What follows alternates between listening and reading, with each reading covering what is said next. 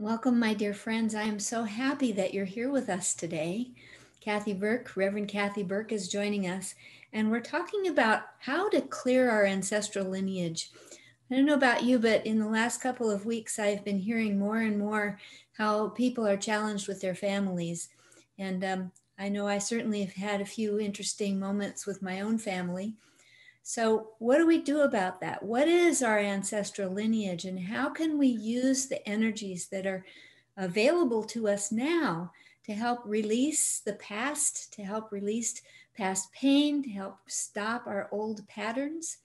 So, Cathi Burke, I want you to come in and talk to us. Cathi created this amazing class. And um, so, Cathi, you wanted to start by telling us about the astrological forces that are affecting us all right now. Yes. Um, hi, everyone. Thank you for joining me and joining us. Um, I just, before I start that, I just want to say a little bit about the lineage class. Um, about two to two and a half years ago, I uh, kind of just woke up one day and decided, you know, the angelic realms always guide me, spirit always guides me that I was going to um, listen to them and create a class where we could, you know, heal and clear lineage. Now, uh, prior to that, just so you know, I've taken some shamanic trainings, um, and one of the shamanic trainings was a lineage clearing. And my good friend Jean, uh, who's a shaman, she held it at my center, and it was just it was beautiful, and and and we cleared a lot that way but something told me to take it even further. So I started to use some of the information I was receiving, some information I already had. I listened, I, I, um, I put it all together. I started doing it with one on one with people. Uh, I did a couple of groups at the center and I had a lot of luck with that. And I could see myself as I did it, it was lightening me up more and more. And then Kimberly, uh, Kimberly, we did it oh gosh, was it a year ago? Uh, no, we just did it in February. Can you believe that that's all it's been? We did it. Wow, we did it in February. So February, yeah. it was February. Yeah. Yeah. So yeah, so it was a while back, nine months, ten months ago. Um, and you know, I know Kimberly and her sister really enjoyed it, and they did a lot with it. A lot of people did, and so um, I felt, you know, Kimberly always tunes into me just at the right time. Like she knows, she tunes in, and and uh, and it was time to kind of bring it back out. So when I agreed to bring it back out and you know uh, do it like that, like the, the way we're going to do it, I looked up some uh, astrology information. Now I'm not an astrologer, however, I've taken classes in astrology. I understand astrology. Uh, Denise Barry's here. Is she here? She is. She's one of my astrology friends that I was telling you about. Hi, Denise. Wow. And Denise, Denise's, uh, if I may say this, Denise's daughter, I just did the lineage clearing and healing with her. Uh, Denise, Denise suggested I do it and she, she was on board with it. So cool. This is my astrology friend, Denise. So I'm going to talk a little bit about what um, my friend Regina Hamilton talked about recently in the full moon report and then I'm going to talk a little bit about too what I know is coming in astrologically from gosh, Denise and Jill and my friends, and I put a little bit of my own uh, insight into it as well. So I want to talk about that first because I feel like it so blends in right now with the lineage healing. You know, again, Kimberly tunes into me just at the right time. I look, I start to see what's going on astrologically from my friends and I think, wow, is this not like an incredible time to do this? And so here we are. um, so I'm to I'm to read a little bit about what uh, my friend Regina talked about, um, and some things I've also looked up in the uh, realm of numerology. So there's astrology, there's numerology, numerology. They all go together. They all blend beautifully together they support us in understanding what we are experiencing in life right now. Yes. how we can use that. Yes, definitely. And so we all know that this year, especially 2020, has been a year of supreme transformation on all levels. On all levels. Uh, as of today, right now, you know, the election is going on and, and it's what I call extreme transformation. You know, we're always transforming in some way. We get up every morning, our cells transform, you know, we, we shed skin, all sorts of stuff happens, we transform. But the kind of transformation that's going on now is supreme. It just, uh, it, it's an amazing um, purge of, of sorts in many ways, the, the virus and, and everything if you think about it, it can make your head spin. And you know, there were there were planetary aspects uh, that were contributing to this. In other words, kind of feeding it. And you know, again, I'm not an astrologer. I'm going to talk a little bit about what I know from from these beautiful people that I know that do astrology. Um, so let me share this. So Regina says it's Scorpio season, a time of transition and transformation, which represents a time for us to release what limits and no longer serves us. So this is a beautiful time right now. Scorpio is transformation. Um, that's your your uh, sign, uh, Kimberly. It so, is. My birthday's yeah, coming right up. yep, yep. That's your sign. Scorpio runs very deep. Scorpio is extremely intense. It has a lot of uh, transformational birth and death energy. So um, you know, transformation is is your middle name. Uh, I feel like it's my middle name too. Um, so the veil between the worlds right now, it, it, always happens around Halloween too, is, is rather thin. So this gives us the opportunity to tune into our loved ones in spirit, our lineage, um, those that have gone before us, those that, um, you know, we can go seven layers deep or more. Many of them we don't know personally right now, but they're all connected to us. And I'm going to talk a little bit about that in a moment. But this is a mystical time to pay attention uh, to supple signs that are coming. So if you feel drawn to this class, if you feel, you know, this is something um, you need to do, do it. Just do it. Don't hold back because it'll help you to move forward in many ways. Um, so Spirit is present and is here for us. And of course, again, this includes our loved ones. Uh, reminding us that just because you can't see something, it doesn't mean it's not there. Okay. Many of us have felt our loved ones in spirit. I do mediumship. I connect people all the time with loved ones in spirit. And, you know, we feel them. They're there. They give us the signs. But, you know, we're going to work directly with our lineage. And again, going back many layers as far as you have to go. So, this workshop the lineage workshop, is in perfect synchronicity with the energies of where we are now. Um, I'm going to talk a little bit more. Kimberly, did you want to say anything? No, you're doing fine. Keep going. Okay, just let me know. Okay. Okay, the full moon of this past week uh, highlighted the polarity between the moon in earthly Taurus, grounded Taurus, opposing the sun in transformative deep water Scorpio. The moon is usually very comfortable in Taurus, but there's a wild card in the mix this year.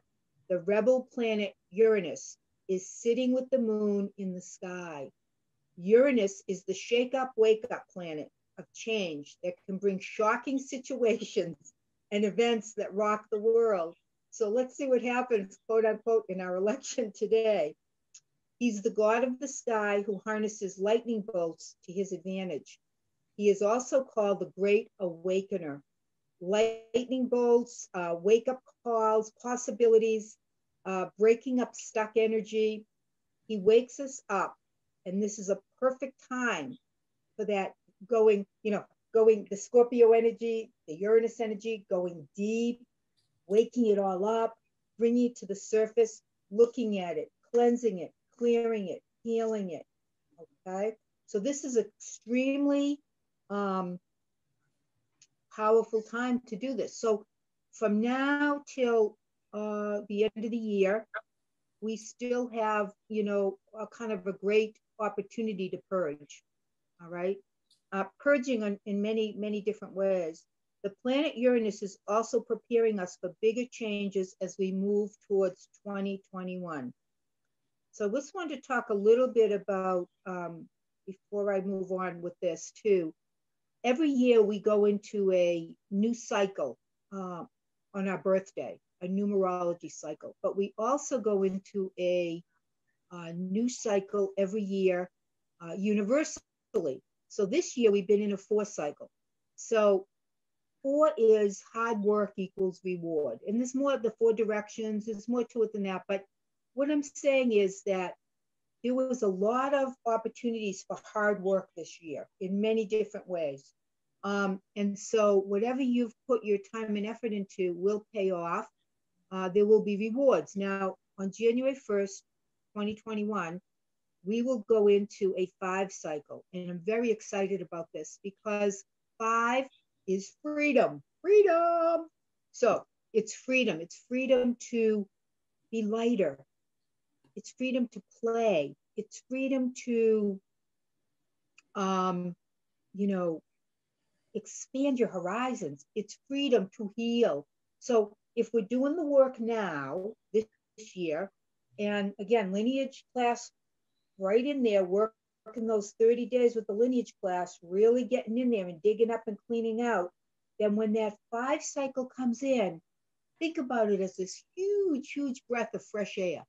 Okay, this beautiful breath of fresh air. Um, so again, we're going from a very heavy, heavy cycle in 2020 to a light cycle in 2021. Um, okay, so we, we are still feeling though a little holding pattern from the Mercury retrograde, but Mercury was going to go direct today. So Mercury retrograde is when, you know, uh, about three weeks, week before, week after or so, Mercury kind of, you know, slows its energy down on the earth, on the pull of the earth. And so things like communication, energy levels, um, mostly communications kind of get stalled. Uh, there's there's there's that you know miscommunication going on with different things. Um, but as it goes direct today, it'll start to build energy back up. And within a couple weeks, I'd say mid November, you're going to feel, oh, like things are starting to move along again. So, again, with the Mercury retrograde journey, um, this again is a beautiful time. We still have time to go within because Mercury retrograde is going within, pulling it up, looking at it, reevaluating it, anything with re in front of it, reevaluating it, and then moving forward with it.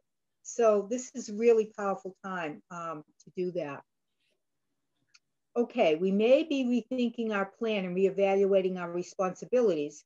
And this brings us back to how we can let go and help ourselves and our lineage to heal. The planet Mars is also finalizing a retrograde. Again, now Mars is uh, the planet of fire and war and energy, and you know Mars is very powerful. Um, it's going to station direct, as my friend says, uh, Regina, on November 13th. We will definitely feel the shift when he changes direction. Mars is at home in Aries, and he's been very frustrated with the restrictions of the backward motion. Mars, the planet of action, will energetically support all that you put your intention to at this time. So, put your intention on I'm going to heal myself, I'm going to heal my lineage. It's a win win situation. Wow, all that energy that's lifted off of you, all that energy that's lifted off of your your loved ones in spirit and beyond.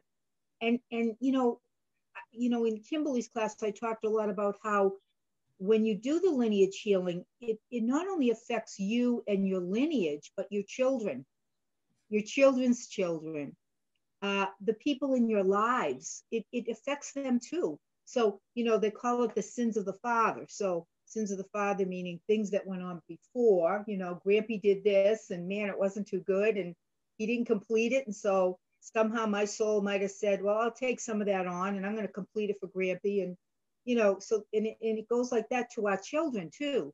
So as we clear and heal ourselves, our lineage, and our children, and our children's children. So it, it's fabulous. It's like saying you're healing the past, the present, and the future.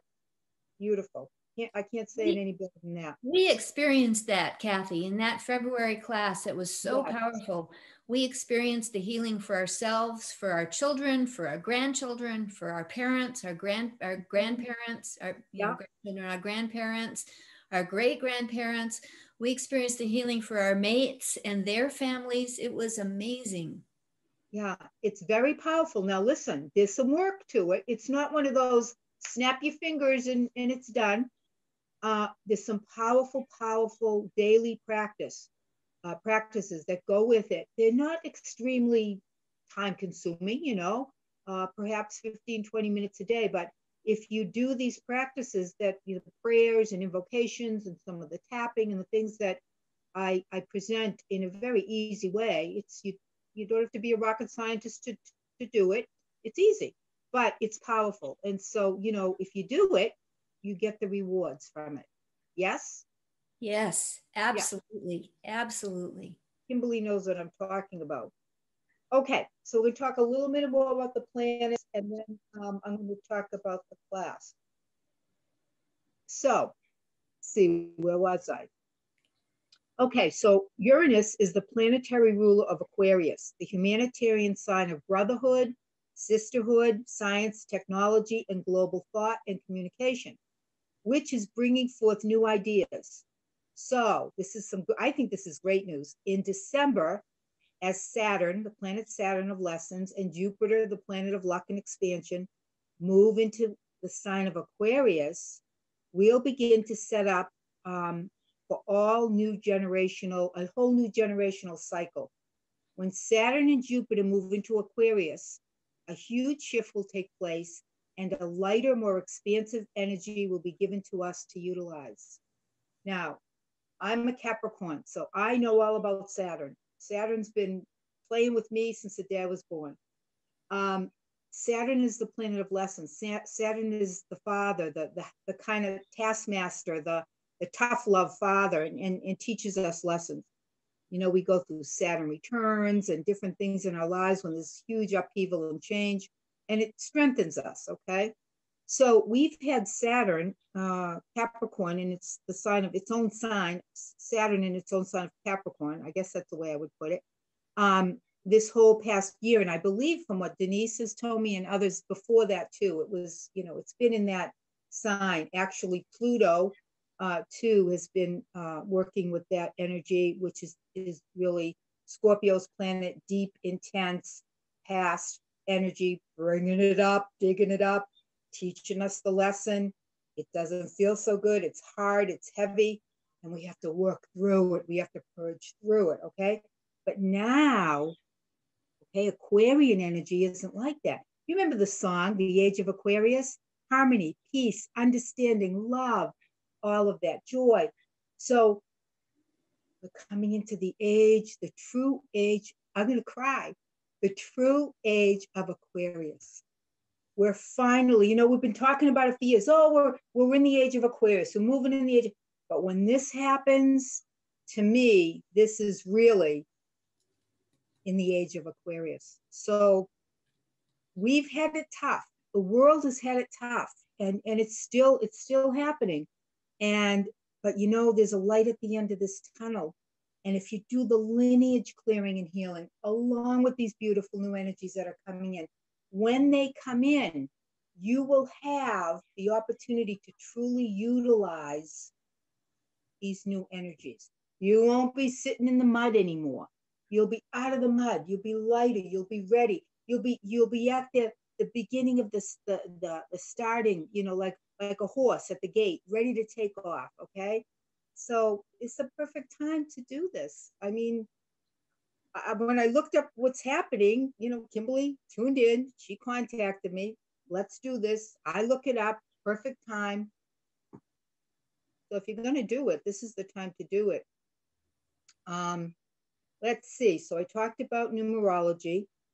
Uh, the world is changing, and you know we can see it every single day. Um, we we need to hold the intention now and it's it's not the easiest thing to do because of all the things we see and hear but if we want peace and love we have to hold the intention for that. And i feel the lineage healing workshop will propel you all forward in a very magical and healing way. It's going to set that stage for a greater and more profound life in 2021 and beyond, not just for you, people before you, people in the now, and those to come. So I don't know what to say more about it than that. So astrologically, we're in a, I feel, we're in a perfect time uh, to do this. That doesn't mean if you did it, you know, uh, last last year when we did it or February that it wasn't a great time. It's all they're all perfect timing, okay? But this this gives us the opportunity to truly move forward into uh, a new energy. February was a great time for me because my mom had just died. My family was changing a lot, and uh, my sister and I did it together. It was it was so powerful. Um, but now is an even is a good time too. So if you did the class with us in February, you can still just go back in, reaccess, watch the class again, start your 30 days over. So let's talk, Cathi, about what you get because that's that's really important. Yeah. So um, you know, with this class, it's an adventure, it's a journey. It's going to help you release from this life and past lives. Now, there, there, hmm, there's the other component of it, okay? The past life component. Because past lives, we carry them into this lifetime. And if we're not, you know, we haven't worked through them, we're still carrying the old energy from that. So, along with this release from your lineage, you're also releasing past life stuff. Um, so it's kind of a twofold win-win situation. Um, so this is a perfect way to accomplish this task at this time. It is time now on the earth to release karma like never before. Karma and contracts.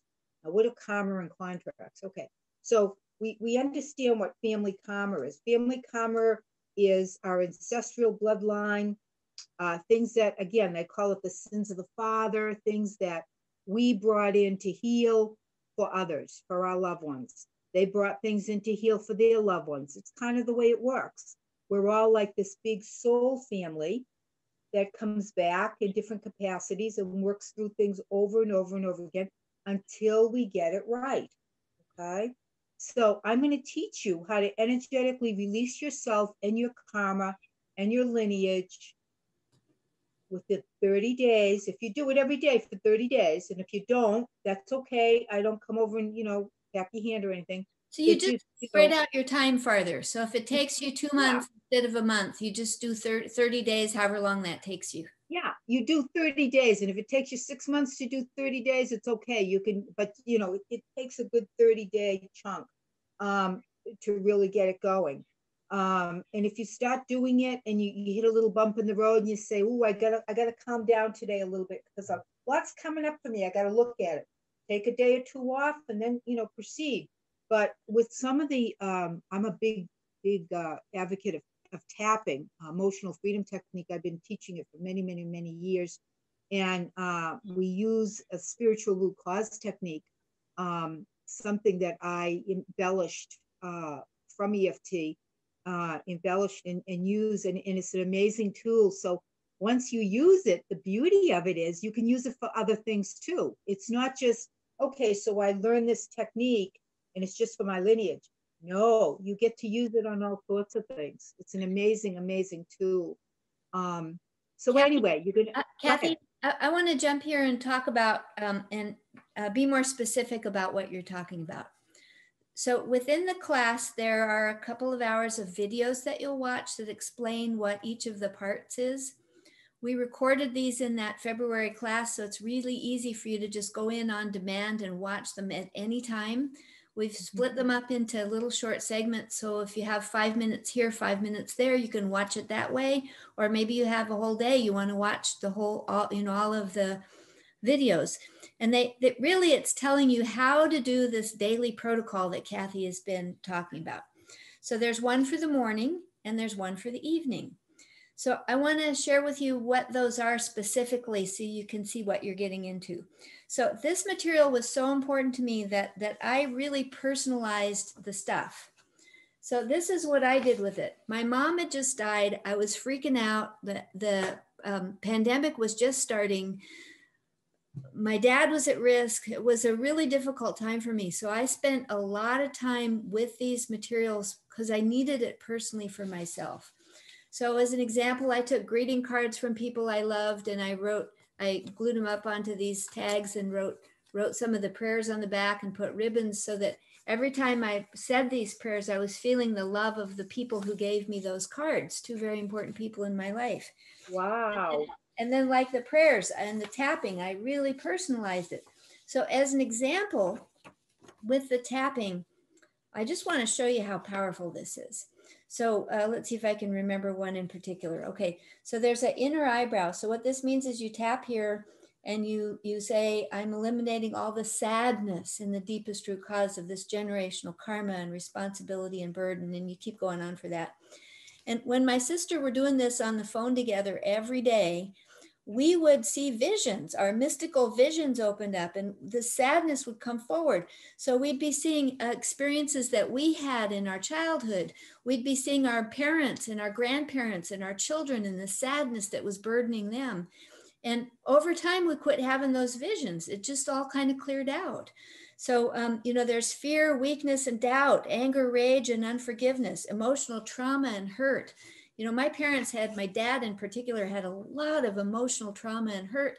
And I would, I would see and, and feel in my being things that happened to him from his, his youth, from his childhood, from his adulthood that were traumatic. And I would see it lifted off of him. And then the next time I'd see him, he'd look lighter and happier and he'd be smiling. And at the end of the class, when I went to see him, he had this look that I've never seen on his face of an innocence, a beauty and an innocence and a peace.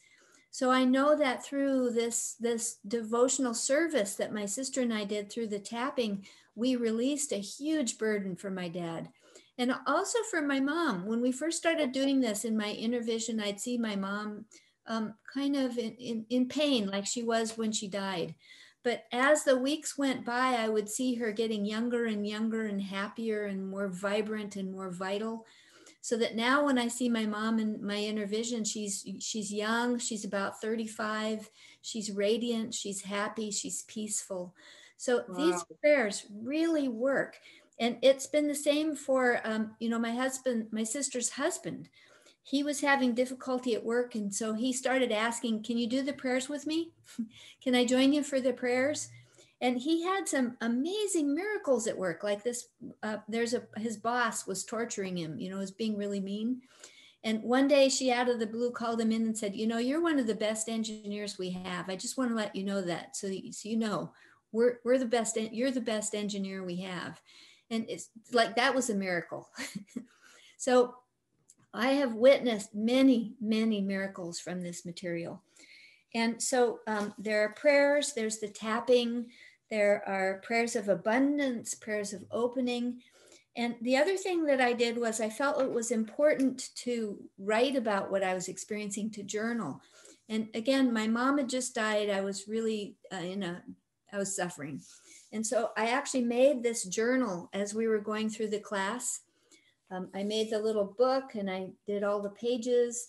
And, and so I started to bring in some of the pictures of my parents, like these are my parents' wedding pictures, and uh, you know pictures from my life, pictures from my family life, um, paintings. My, my mother was a Chinese brush artist. I put some of my mom's paintings in here.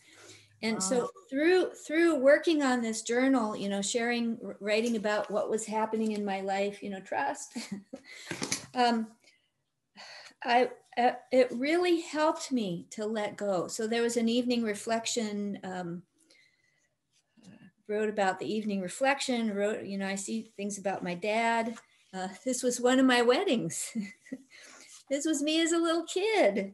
And this was uh, my grandma that I loved so much. So through this, I was able to go through my my um, photos that you know were just stuck away in a box, and put them into this journal in a way where I could feel the support, the love, and the connection. And I think the most important thing. Oh, here's here's my mom and me. This was right before my sister's wedding, 28 years ago to 30 years ago. Um, but through through this i was able to for the first time really feel how much love and support was coming from my grandparents on both sides and my parents and um, my uh, oh a lot came up from our, our aunts and uncles and cousins. We don't know them very well but we were feeling a lot of their pain too. So it was an extraordinary journey of healing over that 30 days. And we've repeated it twice since because it was so powerful. Excellent. Yeah. And you know thank you for sharing all that. Wow you really took it to a whole new level it was that, well that's how important it was to me. And, and yeah, well, what a huge transformation it made in my life. It, it is really important because you know if you're carrying a big bag of energy on your shoulder you can't see it but you know you're carrying it or your feet feel like they're in the mud all the time. You know this this has a lot to do with you know uh the past uh, past lives, uh, childhood, uh, karma, uh, contracts with other people. So when you work through that kind of stuff, you just become lighter and lighter. Now, for me, uh, I started losing weight and I lost, let's see, since February, about 22 pounds. Um, now I do Qigong and I do all sorts of other things too. And I was, you know, eating healthy, but it seemed like emotionally I had been holding on to a lot of weight that, that got released uh, many times I've been on diets and stuff and never lost an ounce. So I really believe all the tapping and the uh, the things that you know uh, I was doing with the lineage class because I was doing it with you um, helped me to release energy, which helped me to release weight. Yeah. Oh, beautiful, beautiful. So let me talk a little, just a little bit more, uh, Kimberly, um, about the, the workshop that, you know, if, if you decide to take it, the people listening. So these are some of the things that you're going to be, um, the, the bennies, the benefits. You're going to begin to discover how you can release past patterns that may be holding you back from being happy, healthy, and abundant in your life. You're going to learn powerful and life enhancing tools that will clear your karma with your lineage from this life and past lives. You're going to begin the healing process that becomes a win win situation as you heal yourself. Um, you gift your lineage the gift of healing too. We talked about that past, present, and future generations. You're going to clear energies that will help you now in your life and your current family situations. Uh, Kimberly talked about her brother in law who did some of the prayers and uh, ended up um, probably healing, you know, with this boss of his. And she actually came to him and, and gave him that compliment, which she wouldn't have done in the past. So something healed. Uh, so these prayers and these invocations can be used for many different things as well. They're interchangeable. Um, let's see, you're going to become more of who you truly are. Uh, the authentic self is going to come to the surface more. Your your gifts, your talents, uh, motivation, uh, movement, all comes from this as uh, layers of old stagnant energies are lifted and clarity, greater clarity becomes the outcome. And you're going to have so many beautiful tools to continue to expand this special healing and share it with your family and friends. So uh, there's so much to it. Uh, there's more than that.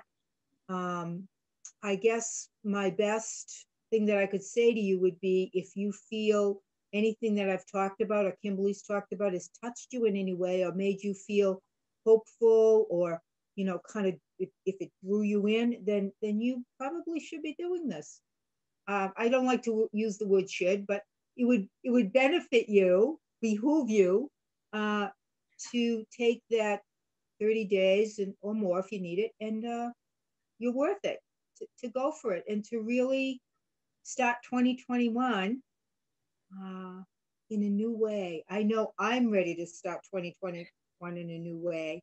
Um, and I think the lineage healing helped me a lot through this year. And that probably helped Kimberly too, and anybody else who stuck with it and did it. Um, so. Oh, we had we had so much heavy stuff in our family this year. You know, settling yeah. out after my mom died, and you know, getting my dad situated, and uh, we eventually had to move him in with my sister, and then we needed to sell his house.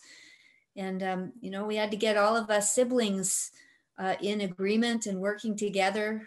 And so it took a lot of prayer to get alignment between all of us siblings and to hold the energy on a positive note and you know not fall into bickering and and uh, criticizing each other. It was oh a, yeah definitely. Um, so these prayers were uh, just amazing at helping that come to pass